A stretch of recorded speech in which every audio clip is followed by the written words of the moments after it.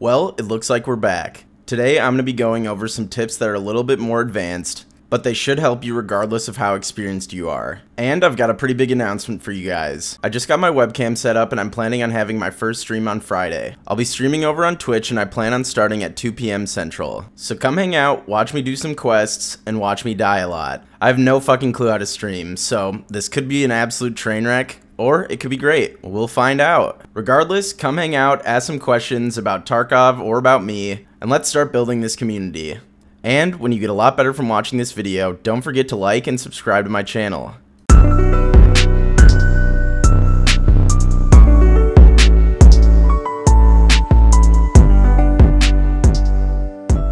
One of the most important advanced tips that you need to know is to just plan ahead. Knowing what items you need and when you need them is going to really speed up your progression. This is something that comes with playing multiple wipes. So it might be a little bit more difficult for everybody on their first wipe, but I'll show you some tips on learning how to plan ahead when this is your first wipe. The Tarkov wiki has basically everything you could possibly need to know. Oh no, some nerd's telling me to use a fucking wiki. Just do it and you're gonna be a lot better off. There are complete lists online that show every item you'll need to complete every task in the game. I'll link this down below so you'll have it as well. You'll want to stockpile as many of these items as you can, so you'll be able to turn in the task immediately once you accept it. Completing tasks is 100% the fastest way to level up in this game, so it's important to prioritize the items that will keep progression moving.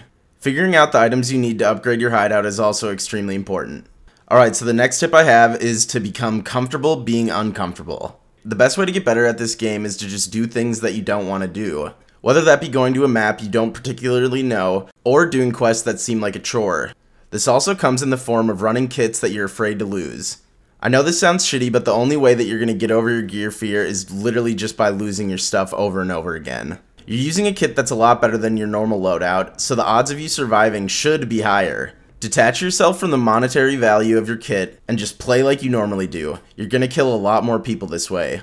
Alright, so now I'm to go into some tips that'll help you in combat. If you start getting shot at while you're running out in the open but you don't know exactly where the person is, it's important to still return fire. Regardless of how experienced a player is, they're still going to be afraid of bullets.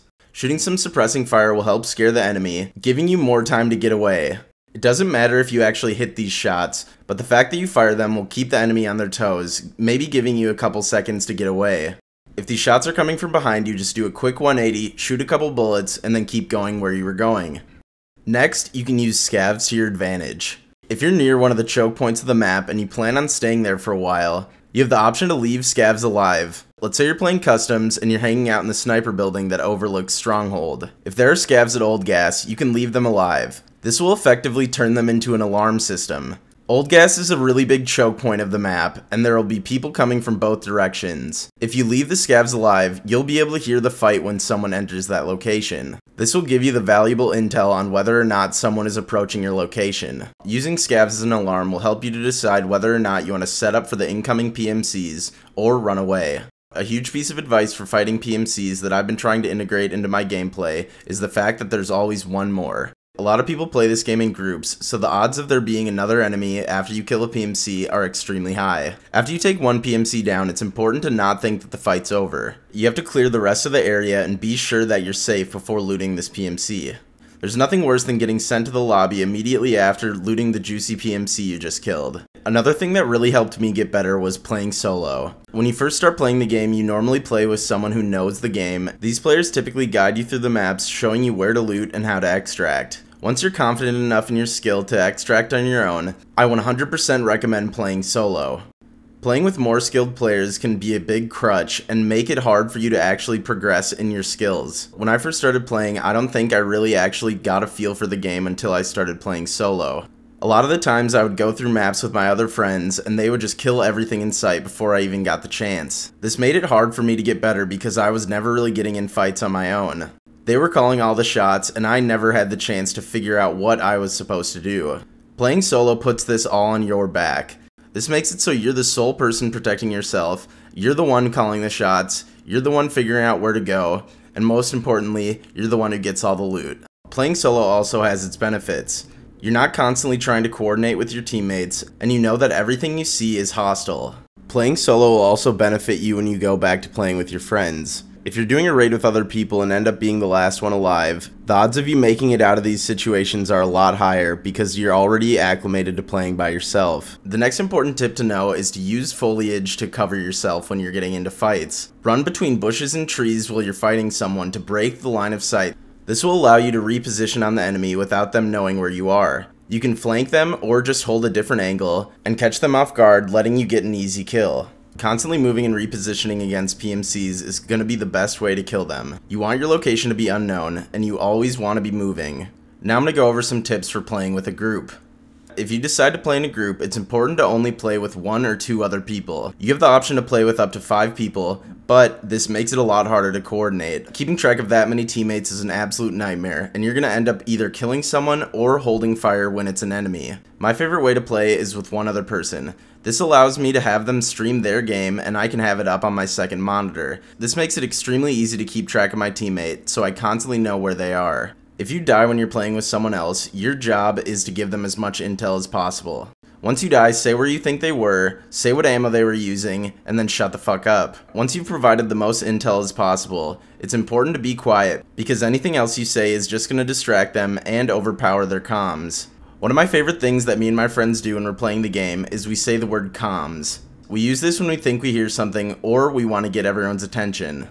In a game where noise plays such a big role, it's important to be able to have everyone be quiet so you can pay attention to what's going on around you. Another really important thing is to pull yourself out of a fight enough to tell your teammates where the people are. It can be really hard to think when you're focusing on your aim, but it's important to tell people where the enemies are when you see them. Letting your teammates know where the enemy is will allow them to be able to help you with the fight. You want to communicate as much information as possible. If you're separated from your teammates, tell them where you are and tell them where the enemies are. Say what they look like, what gun they're using, and how far they are from you. It's also important to know what your teammates are wearing so you don't end up killing them on accident. Another thing that makes playing with groups easier is learning uniform callouts for certain locations. It doesn't matter if these callouts are the same as the ones that the rest of the community uses. All that matters is if you say something, everyone on your team knows what you're talking about. Learning the map's cardinal directions will also benefit you greatly. Being able to make callouts like, hey, I'm going up the north stairs, or I see someone on the south side of the building, is really going to help your teammates know exactly where the enemy is. Now I'm going to talk about some tips about your gear. Choosing your loadout is hugely important before going into a raid. It's important to pick a gun that you feel confident in using. It doesn't matter if you're using the meta gun or something that's considered a low tier weapon. If you're able to get kills with it, then go ahead and use it. When you're building a gun, you can right click on it and click linked search. This will show you all available attachments for the weapon. You can then inspect these attachments and then you'll be able to use them in the weapon modding screen. The most important parts to have on your gun are a scope, a foregrip, and a light. Lights are extremely valuable and will help you in close quarters combat and in dark areas. My go-to light is the X400 that can be purchased from Peacekeeper. A lot of people choose to use low magnification optics like holo sights or red dots, but this wipe I've seen a big advantage in using long range optics. This will make the cost of your gun a lot higher, but I feel like the investment definitely pays off. Next, it's big to not skimp on a backpack. There's no reason to invest a ton of money into your kit if you can barely get anything out with you.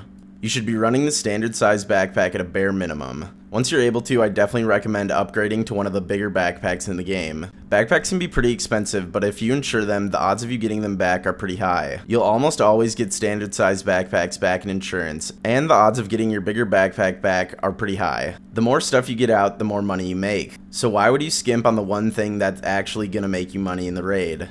Now onto armor. Armor is definitely going to be one of the most important choices you make before going into a raid. A lot of people treat running high level armor like they're invincible, but this is definitely not the case. You should think of your armor only as a safety net. Just because you're wearing level 6 armor doesn't mean you'll be able to tank every shot.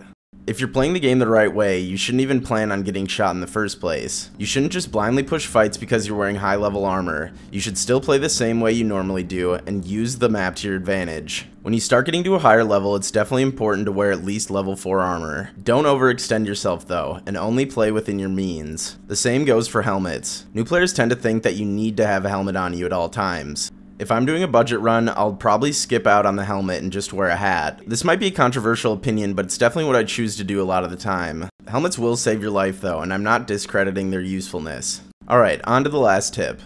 The best way to maximize your profit in a raid is by putting stuff into other rigs.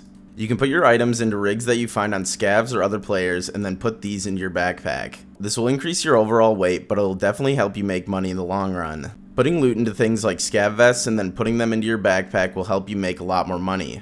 Scav vests have the same amount of slots as they take up, and you can sell them for about 18,000 on the flea.